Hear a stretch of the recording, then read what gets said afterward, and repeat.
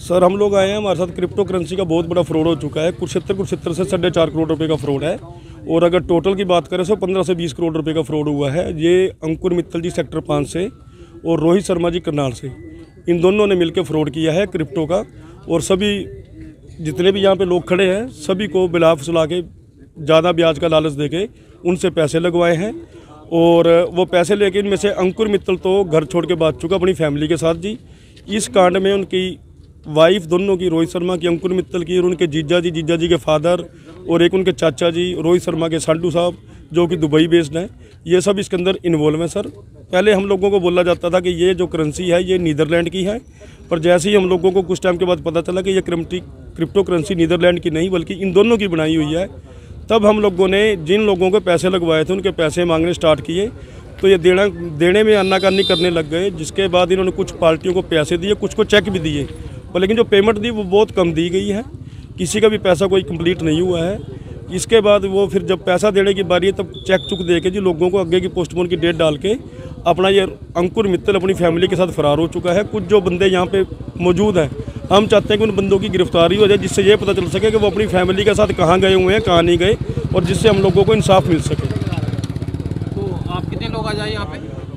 हम कम से कम सौ से डेढ़ सौ लोग हैं सर।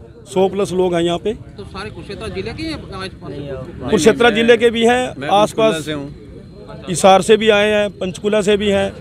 कोई आदमी फरीदाबाद से भी आया हुआ है कोई कहीं से आया हुआ है। अलग अलग डिस्ट्रिक्ट से सभी लोग आए हुए हैं। तो आपको क्या लगता है पैसे की हो जाएगी वापसी? सर पैसा सरकार चाहेगी अगर प्रशासन चाहेगा क्योंकि अगर एसपी साहब से आज मिल रहे हैं अधीक्षक महोदय चाहेंगे तो उनकी फैमिली को अरेस्ट कर लें। और जो भागे हैं फैमिली लेके, तभी उनका पता लगेगा।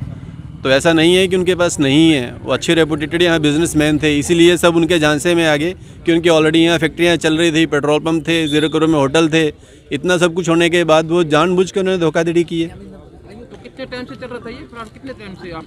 डेढ़ साल हो गया जी मुझे उसमें लगाए पैसे।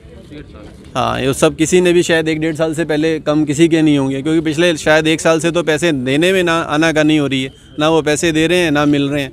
और अभी कुछ समय से तो उन्होंने फ़ोन उठाने बंद कर दिए सबके। तो आप कैसे झांसे में आ गए? आप क्रिप्टो कोई सरकार नहीं, भी नहीं, मना करती है? एक हमारे मित्र हैं जिन्होंने मिलवाया था इनसे।